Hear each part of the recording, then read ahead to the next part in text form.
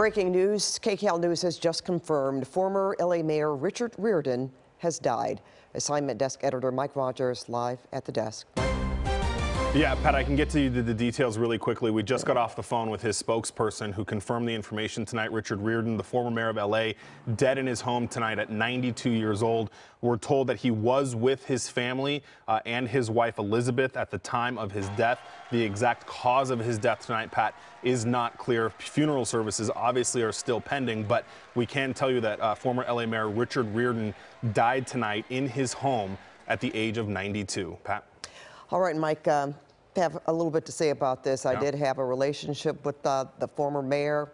He actually befriended uh, a group of us newswomen and helped us to fundraise to um, help 501c3 charities. And I, I would say, though, that Mayor Riordan was probably best known for the work that he did after the nine- 1994 uh, earthquake in Northridge.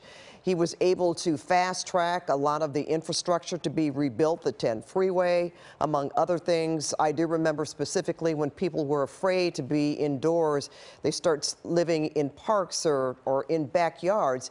And the mayor actually got uh, Budweiser to fill cans that would be cans of beer with cans of water so people would have uh, water to drink. So I think that's how he will be best remembered for his acumen as a businessman and also to bring the city together. But um, we have more on Richard Riordan now in this obit that we'd like to share with our viewers.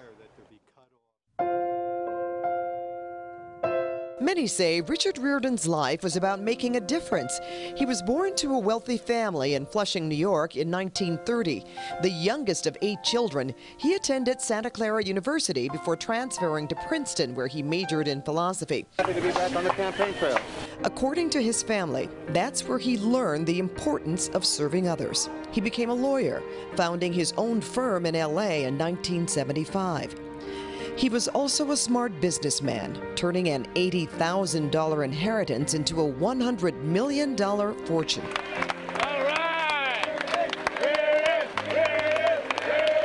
In the spirit of service, he donated $3 million a year to charities.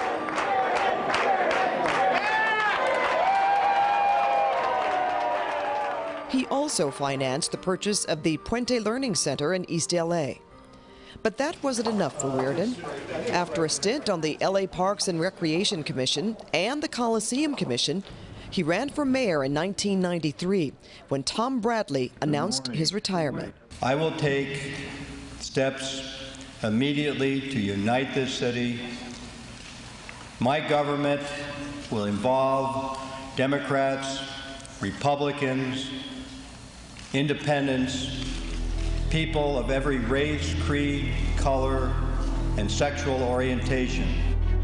He was about to inherit a mess. Crime was on the rise and the local economy was on the skids. Racial tensions were still fresh following the 1992 LA riots.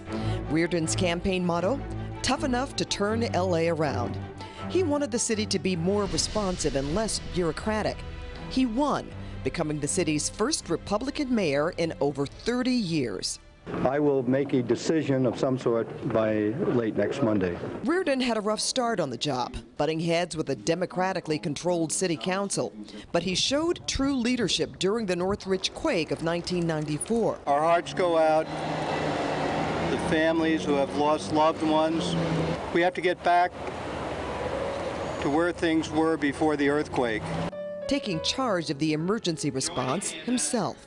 The city re-elected Riordan in 1997 in a landslide. Dick Riordan, come on, Dick. After term limits kicked him out of office, he sought a higher calling, governor. He ran and lost the 2002 Republican primary. But that wasn't the end of his service. His friend, former Governor Arnold Schwarzenegger, appointed him Secretary of Education. But that hit a snag in 2004 when, at a children's library event in Santa Barbara, a six year old girl asked him this. Did you know that my name actually means an Egyptian goddess? Uh, it means uh, it means stupid, dirty girl. Calls for resignation came quickly. Riordan resigned in 2005, but he never left politics. A life that began in public service ended in public service. Through his Riordan Foundation, funds are used to help low income children. A fitting legacy to a man who always gave back. And former LA Mayor Richard Riordan has died. He was 92 years old.